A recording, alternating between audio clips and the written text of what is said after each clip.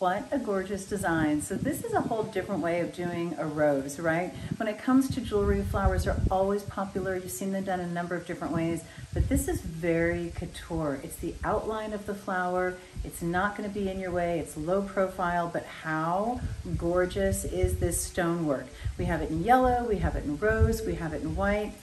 Isn't that beautiful? It just, oh my gosh, it's so chic, it's so feminine, it's so pretty, and it's so couture.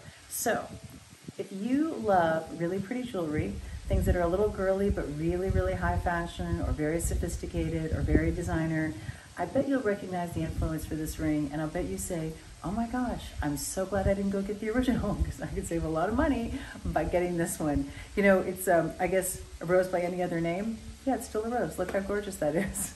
I know you're going to love it.